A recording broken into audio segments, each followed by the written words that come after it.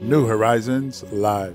Justamente la República Dominicana, señor Garrido, eh, se empieza a convertir en un hub de ciberseguridad en América Latina y el Caribe. Una noticia, eh, digamos que neurálgica, ¿no? Cuando nosotros hablamos de que la conectividad en la República Dominicana sigue siendo un desafío, cuando se está hablando incluso desde eh, escenarios como el Indotel para poder hacer las transformaciones digitales que nos permitan como nación podernos, eh, poder seguir desarrollándonos, pues justamente el país, eh, en el país se ha instalado este Centro Nacional de Ciberseguridad que lo que pretende, además de servir como un punto de enseñanza, es fungir como una matriz de proyectos tecnológicos para América Latina y el Caribe. Es un centro que estará operando en tres áreas específicas en educación para la capacitación de los técnicos de América Latina y el Caribe, además de un centro de entrenamiento y un laboratorio forense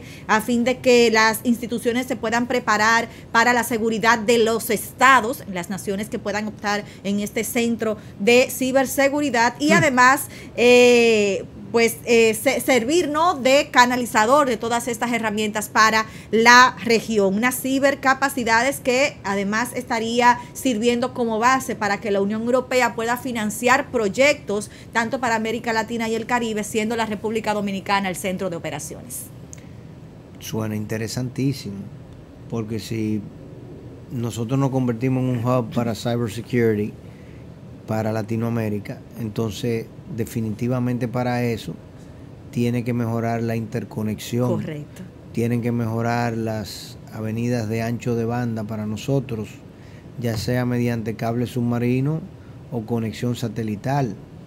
Eh, es un poco hasta extraño que se piense en República Dominicana para el hub de, cyber, de cybersecurity, porque eh, República Dominicana no tiene una red de fibra más avanzada que Colombia o que México o que Brasil o Argentina.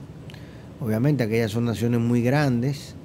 Eh, geográficamente nosotros estamos donde nos dijo el poeta, pero eh, no sé, o sea, me causa mucha curiosidad la, razón por la cual fuimos elegidos para esto, pero el hecho de que fuimos elegidos para esto puede ser tremenda oportunidad eh, para, para capacitar mucho más gente en República Dominicana y como te digo, para que haya una inversión, ya sea del sector público, aquí se está hablando del sector privado, perdón, aquí se está hablando de eh, financiamiento por parte de bancos europeos de la Unión Europea, y de la Unión Europea hacia República Dominicana y de aquí hacia otros países.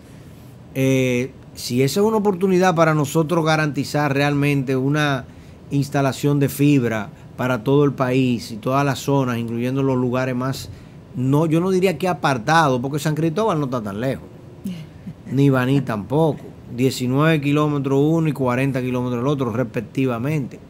40 kilómetros son 26 millas. 26 millas cuando usted se monta, cuando usted llega al aeropuerto de Miami y del aeropuerto de Miami tú vas a Pembroke Pines, que es lo que más común hace cualquier dominicano que llega allá, tú has recorrido 40 kilómetros.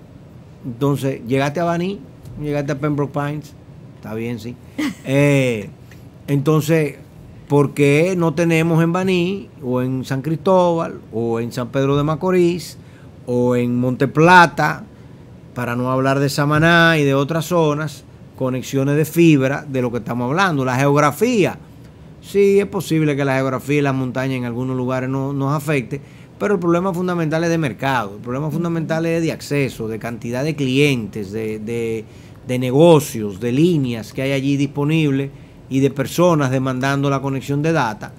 Pero si nosotros tenemos estas inversiones privadas y digamos multilaterales, eso puede ser tremenda oportunidad para la República Dominicana. O sea que vamos a seguir dándole seguimiento a esta, situación, vamos a invitarlos a que vengan acá al programa New Horizons y nos eh, hablen de todo lo que están haciendo y ver de qué manera la educación privada también puede participar, porque definitivamente es educando que vamos a poder lograr seguir avanzando.